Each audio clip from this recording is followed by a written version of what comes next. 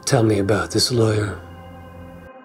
And Tom says you're his brightest young associate. Is that something that I can use for my next performance review? Absolutely.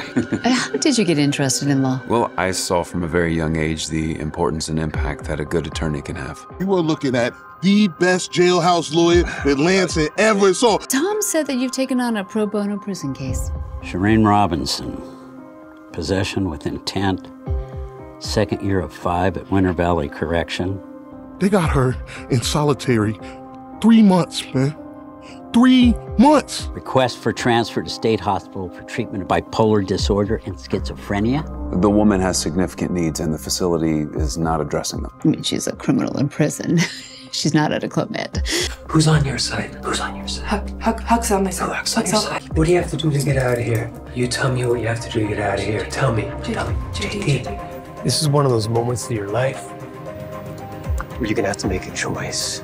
Ale, you gotta get out of this case. You got something on your mind? I think you should step back. You think that piece scares me? Ale, this is a sweetheart deal. Yeah, and everyone else walks away while. Did you think this was gonna end neatly? You know what, Beth? Why don't you illuminate me on who the cops are and who the robbers are? This is outrageous. Those guys get to just waltz in at the last minute, pretend like they didn't know anything, and leave without a scratch? Oh, right. It's a genius little lawyer, right? You think you know something about this game?